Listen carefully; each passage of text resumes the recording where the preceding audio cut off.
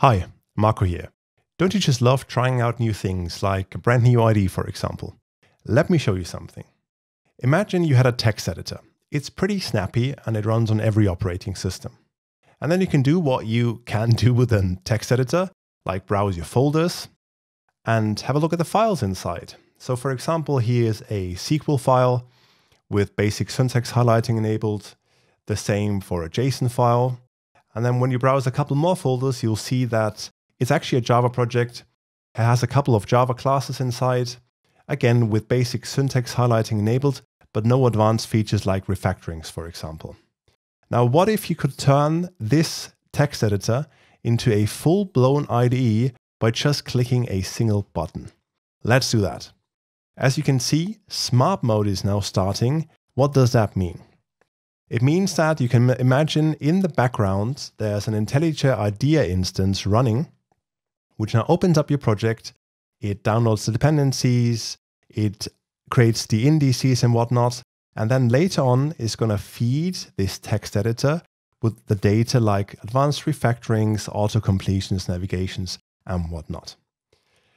As you can see already, a couple things changed here in this editor window. Now it's not just basic syntax highlighting anymore, but you can already have a look at the usages, for example. Here's a logger variable with two usages, and when I click it, I can see in this file, there's two times where the logger instance variable is being used. It's not too exciting, might be more exciting if you have a big project uh, with usages across several files, but it gives you an idea what this can do. Then when you scroll down, what you also can do is, for example, have a look at your favorite refactorings, like renamings. Instead of calling it username, you might, for whatever reason, just call it user.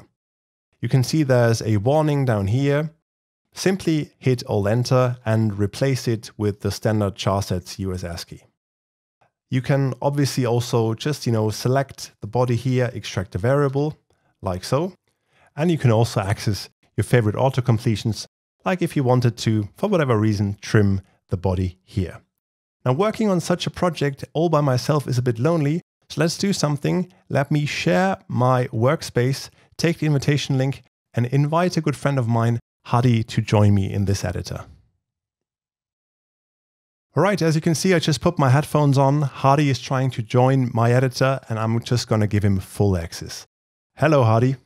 Hey, Marco, how are you doing? I'm, I'm doing great, thank you. Hadi, I could need your help with something. I have a test which is not that great. Could you just help me make it a bit cleaner, actually? Oh, yeah. When will you learn, Marco? When will you learn? I keep telling you, you start with the tests and then you go with the code. Yeah. Okay. Let me uh, actually just add some comments while you're editing that test. You go ahead and do that. I mean, what is this? How are people meant to understand what this means? You know, there's this thing called refactoring. So let's bring this out into a variable and oh, nice. I, I like that. Tealf. I, I like that name. Tealf. There you go. How, how, how does that look for you? Does Is that better? It, it looks much better, actually. And that's, nice. that's a great pair programming session. Hadi, actually, thank you for your work so far. I'll just get back to you in a second, okay? Okay. All right, now hold on a second. A bit earlier, I told you that essentially we're running an embedded version of IntelliJ IDEA on my machine. But instead of running it on my machine locally, couldn't we just run that backend on some very strong server in the cloud? And then it doesn't matter if I'm accessing that backend from my desktop PC, from my laptop, or from even my mobile phone, right? Tell you what, let's give that a try as well. So I'm just to close down this instance here. I'm going to JetBrains Space where I have a repository hosted. And conveniently enough, you can see I have an environment here which has four CPUs, 7 gigabytes of RAM, 40 gigabytes of disk space. And I have a convenient button called Open an IDE.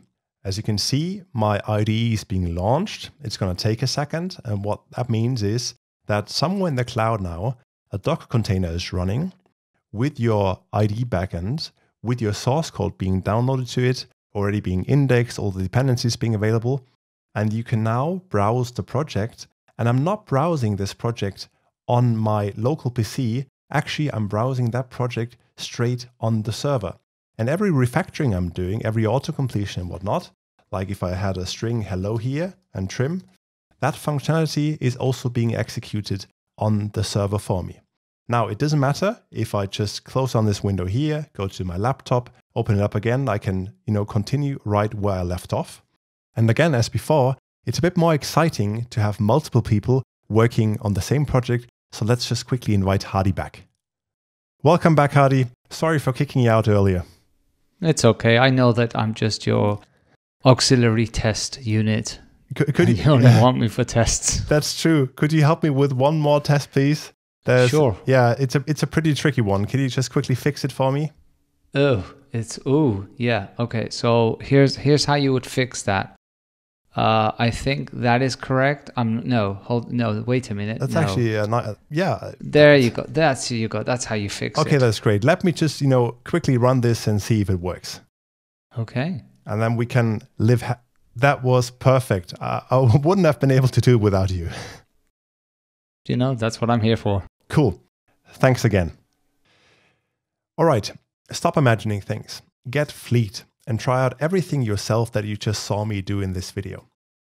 It's an early version. A lot of the things are not working as you might expect, but whatever is working is pretty darn exciting.